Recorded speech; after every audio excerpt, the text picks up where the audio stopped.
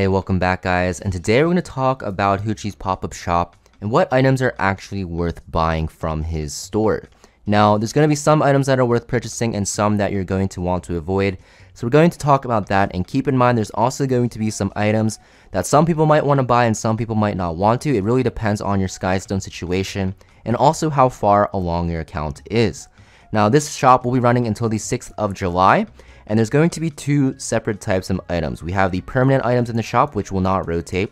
If we scroll down here, you'll also see these items that have a clock icon and these will rotate every 12 hours. You can see the refresh time on the bottom left here. So starting off with the permanent items guys, looking at the top. So the first thing we have is the 4 to 5 5 star hero summon ticket. This you definitely are going to want to avoid because you only have a 15% chance at a 5 star hero and an 85% chance at a 4 star hero which might seem like not that bad of odds for some of you guys out there, but keep in mind it's a random 5 or 4 star hero and it cannot be a Moonlight hero, it will always be RGB or Fire, Ice, or Earth in other words, so it's not really worth it and the chances are, even if you do get that lucky 15% and get a 5 star hero, most of the time that unit will not be that great. Next, we have the Molagora guys. This will really depend on your account. So if you're new to this game and you have a lot of Molagora, I would not recommend buying this because there's a lot of free-to-play options you can build for PvE, which will not cost you that many Molagoras because they'll either be 3 stars or 4 stars. But if you're late into the game with a decent amount of Sky Stones and have like a pity saved up, and you're running low on Molagora, you're definitely going to want to buy these because Molagora are time gated. Next, we have the Mystic Metals. I personally recommend always purchasing these because these are very, very worth it because on average, if you refresh the secret shop, it will cost you about 300, 400 sky stones for Mystic Metals. And once you hit the late game, you're mostly looking for Moonlight units anyways. Uh, so Mystic Metals are going to be more worth it in terms of Sky Stones to Mystic Metals ratio. Just keep in mind you are missing out on the chance of getting the regular Covenant bookmarks from the secret shop. So it's really up to you, but I would personally recommend these Mystic Metals. Next, we have the Galaxy bookmarks, guys. This is going to be a 1200 Skystone investment for a 2.5% chance at a ML 5 star. And let me tell you that this is not worth it. A lot of people will try to buy this and justify it, saying they got a 5 star. But let's be honest, uh, some 5 stars, ML 5 stars exactly, are going to be pretty bad.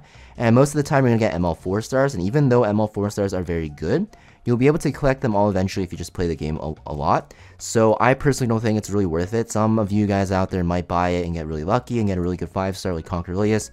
But trust me, for the average population and for just statistics, it is not going to be worth your Sky Stones because 1200 is very, very hefty price to pay for just 5 Galaxy bookmarks. Now moving into the interesting uh, items here. So you have the random level 85 equipment, um, epic equipment chests. So for this set or this box, I would recommend going through it even if you don't plan to buy because refreshing is for free. And you're going to want to look for a right side piece. You're going to want to look for a ring or a necklace even like here or like boots. And you want to make sure these sets, the main stat and also the substats are very, very good. And the base stats are decent as well. So I'm going to go through here and try to look for one. It's going to be a pretty low chance of this actually occurring. Uh, but sometimes you do get lucky here and you do want to buy a piece and 1100 Skystones for a pretty much perfect piece here is going to be very worth it. And like I said, because it is free to refresh, you're definitely going to want to refresh here and look for uh, good sets here with like good substats like I mentioned. Right now, we're not finding anything. And for equipment score, guys, you're going to want to look for an equipment score of at least 30 in my opinion. I think those are the best pieces to buy. Anything lower than that, and you're kind of rolling a dice here because if it rolls low, you're not going to really end up using that piece. So yeah, we're going through like this ring here would be decent if that flat attack stat was like something else. Um, but we're just going to keep going here and hopefully we get a piece that is worth purchasing. I highly doubt it though because of the fact that um, the chance of this actually lining up for you getting a good piece is pretty low like I said. Um, there is going to be a chance that you actually do get a good piece so you actually want to test it out. Also guys, don't buy left side pieces. Like this piece looks pretty insane for a left side piece. Equipment score of 34. But left side pieces are a lot easier to get, and for 1100 Sky Stones, not really worth it in my opinion, unless you get a super, super cracked piece, like a 36 gear score piece with like perfect subs like this one. These are actually all perfect. Like this piece might actually be worth purchasing. Honestly, I might even consider buying this right now because 36 gear score is crazy and you know it's max subs and everything this is literally a perfect piece the only thing is if it rolls heavy into effectiveness i'd have to use this on like a different unit but um you know, pretty, pretty good. If this effectiveness was like crit damage or defense or speed at max roll, this would be super, super good. I think for left side pieces, anything above 35 gear score, right side pieces 30, make sure the set and the subs and the main stat line up, and you're good to go. Otherwise, you can just, you know, just keep refreshing to the end and just not decide to purchase anything. Like this necklace would be so good if that flat defense was like crit chance or something, or like attack percent, but unfortunately it is not.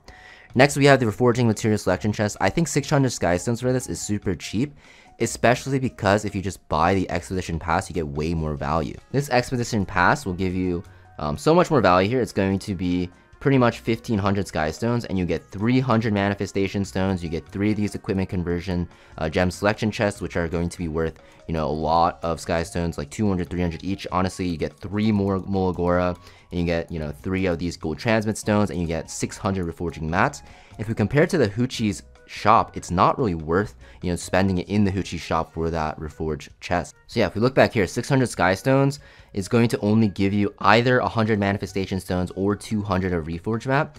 But if you're paying 1500 per month, you actually get 600 and then you get 300 manifestation stones and a lot more. So this is a big scam. Do not buy this. This is only really for whales. Uh, so I would definitely recommend going against this. Even if you're missing a lot of reforged mats, this is a big scam. Created Artifact Charms, honestly, this is really up to you. If you have a lot of Sky Stones left over, it's pretty decent because Artifact Charms are kind of hard to get in this game. A little bit easier now, but Artifact Charms are always a struggle to get, so this might be a good deal. Honestly, I would not recommend this for early game players, but if you're in the late game and you are in PvP and, and you are you know struggling to max out your artifacts that you have limit break, then this might be a good option for you.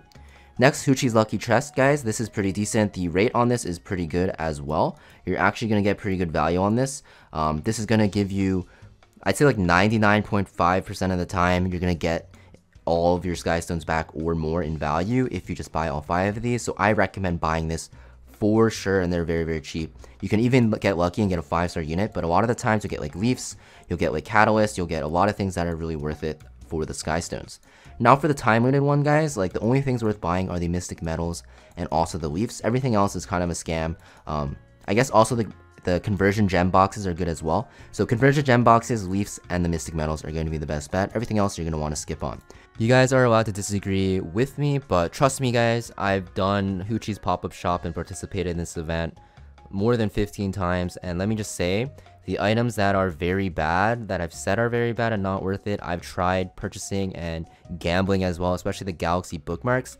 And let me just say, it is a big scam. You're not going to really get any value. And even if you do get lucky, just statistically, it's just you being lucky. It's not really worth it for everyone. And I cannot recommend that because, you know, relying on luck is something you do not want to do in this game, even if it is just 15%. So yeah, just my opinion, guys. Thanks for watching, guys. And I hope this video helped you guys out in deciding what to purchase from the shop. And I hope you guys have a great weekend, and I will see you guys in the next video. Peace.